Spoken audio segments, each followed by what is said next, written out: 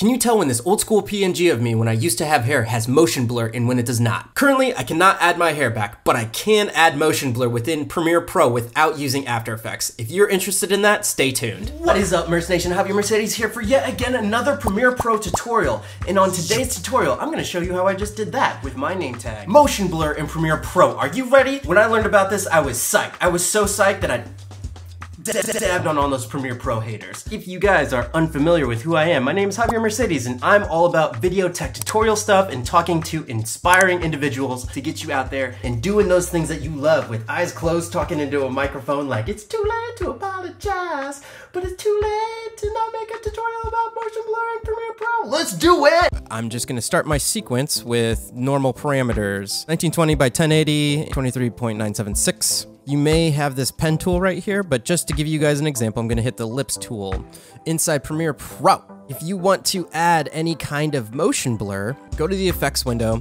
type in transform, and this will be more than meets the eye. I guarantee it. And I will show you here. No Decepticons up in this piece. Gonna center my position here. Here's how it works. I have my normal motion properties, and if I were to move this, there's going to be no motion blur on this circle. If you were to go to the transform, which is underneath this shape right here, you move it, still no motion blur. But if you do want motion blur on any clip or anything, all you have to do here is go to use composition shutter angle, declick it, enter a number from 0 to 360. The higher the number, the more the motion blur will be. Right here, I will go all the way to 360. I'm gonna take this circle and move it over here. I'm gonna hit the stopwatch on the position, then I'm gonna go a couple frames into my timeline, move the circle over, and ooh, look at that. You can already see it happening. As you go through, you can see that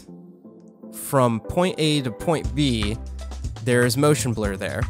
And like I said before, if you change the shutter angle, it will change the amount of motion blur that is on that circle. Now motion blur is not bound by just position. You can use it for rotation, scaling, all the other parameters that you see right here. So I'm gonna do this with something like the title of my podcast and scale it up. Normally I do it something like this, where it pops on like this. But let's say I wanted to scale it in with motion blur. I'm going to take this, add frame hold, now it will always stay on screen like this. Go to my transform property, drag it on, and now I'm going to do scale. We want it to hit 100, but we want to start from zero. Now I'm gonna do ease out, ease in. That's way too fast. Click this guy, move him in so it eases into its position. Turn off my use composition shutter angle. And 180 is a good place to start. Look at that. Vroom. Vroom.